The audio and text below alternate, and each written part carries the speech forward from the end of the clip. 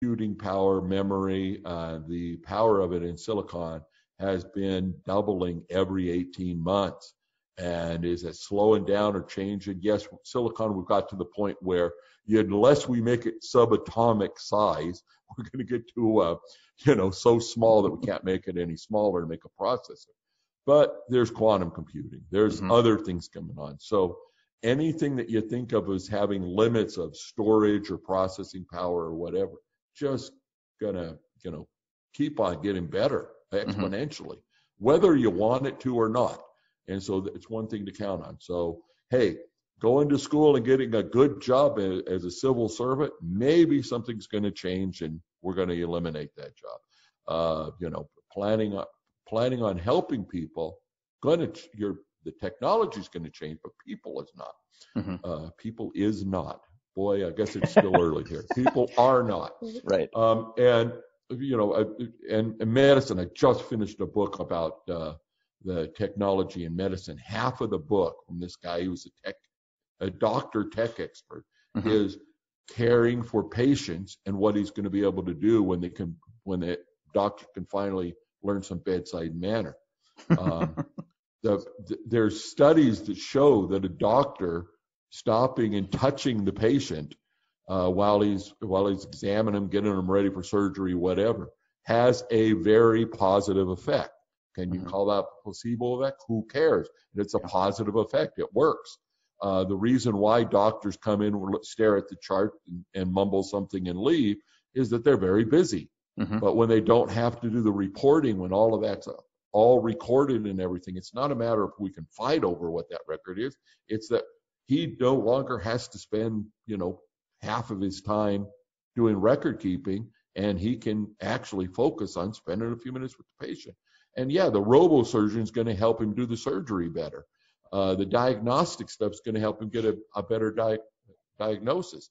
But um, I think we're an awful long way away from having a robot come in and say, "You have cancer. Here's what we're going to do about it."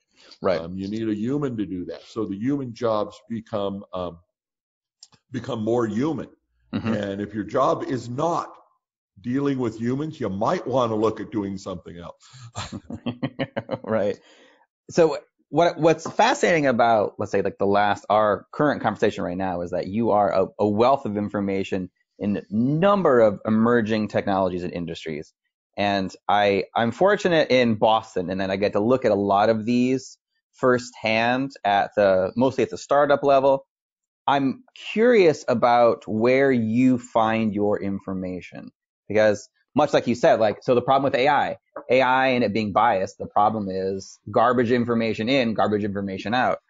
So where, what do you look for? Are there people? Are there books? Are there articles? When you're. Like, when you're getting in, in interested in a, a new emerging technology or even now, like where do you go for your valuable information that allows you to speak so eloquently on multiple types of, of industries?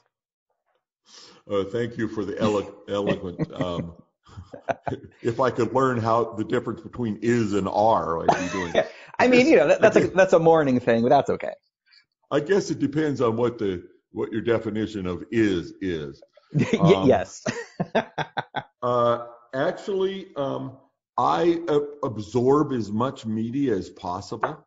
I okay. flash back to a time when Wired magazine was brand new, mm-hmm. and they interviewed uh, Penn, uh, Penn and Teller, mm-hmm. and uh, and they showed an office, and he had three TVs on.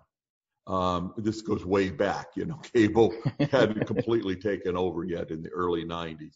Right. Uh, but he had, you know, tuned to news coverage, to uh, media, to whatever. He just had them going all the time. And I and I tried to do that. I found out I couldn't get cable installed to my office. um, and back then, you wouldn't have done it on the internet. It just wasn't enough information. Right. Uh, I mean, it wasn't fast enough. But the idea was that um, he wanted to consume as much as possible, which just makes him, you know, generally smart about stuff. I, right. you know, I, I think it's not a matter of IQ. Um, you know, I'm pretty sure I'm blessed with a good IQ. I have nothing to do with that, so mm-hmm. I don't consider that a brag. Um, but outside of that, I just you know I read, I watch, I see things. I watch hours of television every day. Mhm. Um, and I, you know, I wish I could say it was all good stuff, but I think I just quoted something that uh, t- today that I learned on YouTube last night. Mhm. Um, just you know, Singularity University TED Talks, uh, you know, and and wild and crazy documentaries, and oh yeah, podcasts. There's a whole lot of interesting people out there. I talk to the Uber driver every time I I get in. Mhm. Uh, boy, I'm, I'm I'm making that mistake again. I said every. It's possible the deaf driver I had and I had no conversation. So it's not every Uber, uh, but close to it. Um, and and sometimes I ask myself, what the idea of taking an Uber is I'm supposed to be able to like get some work done or check my phone and get car sick and or just rest my weary head. And you know, and sometimes I get in thinking that. Next thing I know is I'm having a conversation like this, telling stories and getting to know the person. Um, one of the big things I learned about blockchain came from a Polish guy uh, who lives in uh, Vegas. Mhm. Uh, and the reason I found out he was Polish is I asked him about sending money, um, and he sends money home to Port to uh, to uh, Poland. And I asked him how much it costs. He said, "I don't know." and, and or it depends is what he said actually. Sure. And and uh, so we tried to figure it out. He said he had sent five hundred dollars and it cost him forty five. Neither of us had any trouble figuring out the math on that, Mhm. but he didn't know. He had never taken the time to figure out it was nine percent, and that has affected me in so many ways. That conversation. One, we should be able to wire transfer funds now at a half a point, a point. It should not be nine percent or twenty five percent like it is if you want to wire money in Africa. Right. Um, you know, and how can an economy thrive if we have that kind of a f- friction? Um, and and so you you hear about one thing, you try to apply it to other things, and then, as I said before, very careful not to say, well, I need to read up more about why the you know this clown in in office is so bad for us. I know that it's it's fact. Um, you know, some of the silly things, some of the jokes I watch, I learn a lot from watching jokes. Mhm. Actually, I got into late, very late last night, watching an hour interview with Jay Leno, which I didn't know the guy was doing public interviews, let alone doing stand up. I kind of assumed, but never Yeah. thought about it. Oh yeah. And oh wow, he has some interesting things to say. The headline was why Jed, Jay Leno will never do a comedy special. And Hmm. I'll let you look it up if you want to know. I won't tell you. Yeah, I definitely uh, will. I'm I'm I'm gonna guess it's probably similar to why other comedians, established comedians, will also not do Yeah, that anymore. right. But But I'm gonna. some do. yeah. Yeah, I mean, they I just I just binge watch everything I could find with Jerry Seinfeld.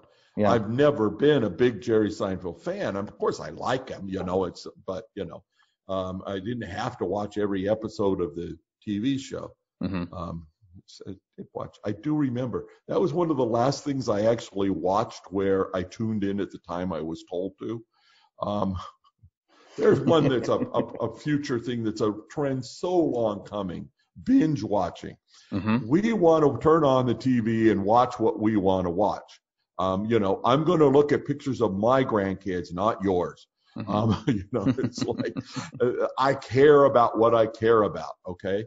And e even though I'm saying I try to be open minded and go through as many things as I can, end of the day, you know, my my grandkid is the best. hmm Um, and you know, it's like, so that's what I'm going to look at. Why would I want the TV to tell me when I, some guy in a suit in Manhattan decide what time I want to watch my favorite show? It's crazy.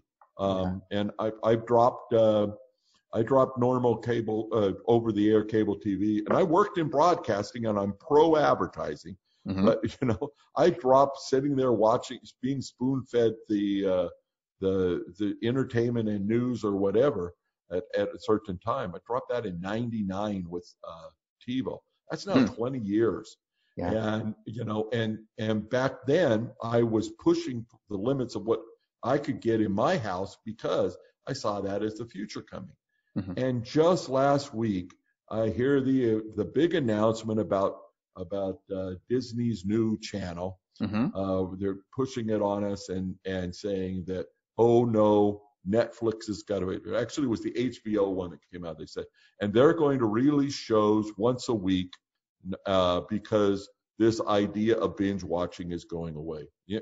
By the way, you don't. When I refer to binge watching, it doesn't matter whether you watch the whole series at once or you watch it whatever. It's when you want because nobody nobody watches 200 hours of, of a show, um, you know, without getting up from their chair. Right. Um, and so I, I I do a lot of binge watching where I watch episode after episode, and I find it it's great. It's what I it's my escape. I get hmm live in another world. Love watching British drama because uh, uh, like I just finished a police procedural, and and the idea was I was there with them in that situation. I know that it's fiction and it's not real or something, but I was able to escape, play with that, and it was okay. It's why we like science fiction and other things. It's that you know we we can fantasize.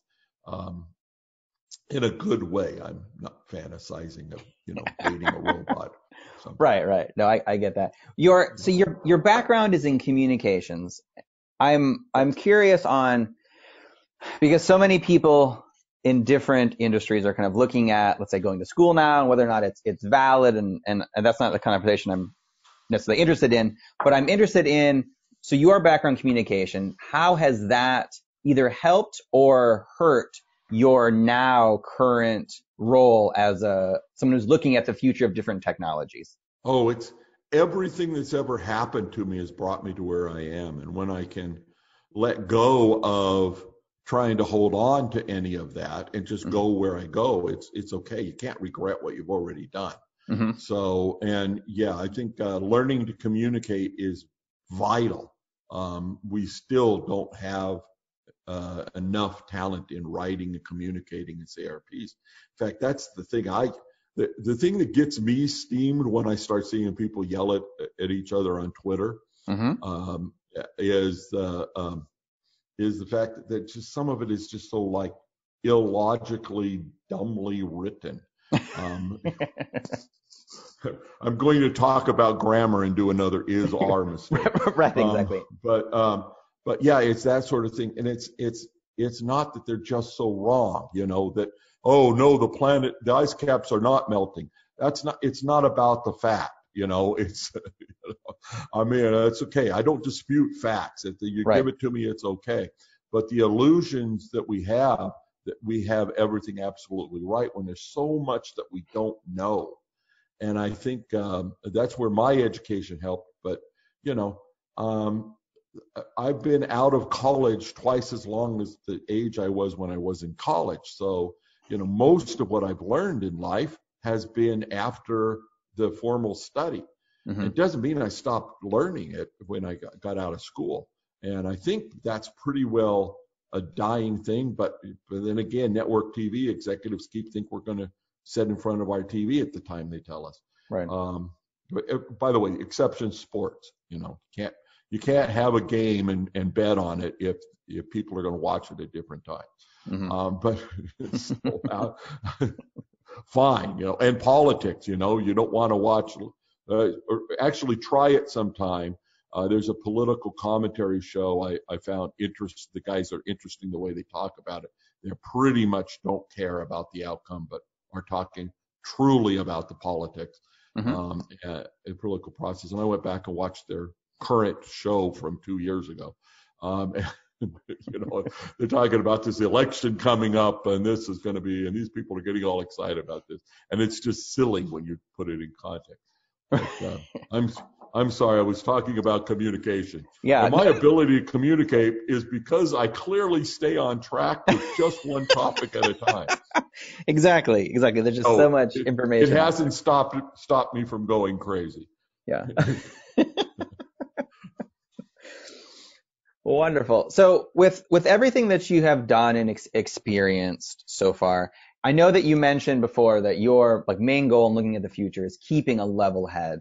How do you do that? Into so for people who do watch, to say, the news a lot, and the political climate is all over the place, and that hasn't really Right. changed much. But how do you, in your own life, keep a level head, keep looking, you know, 5, 10, 15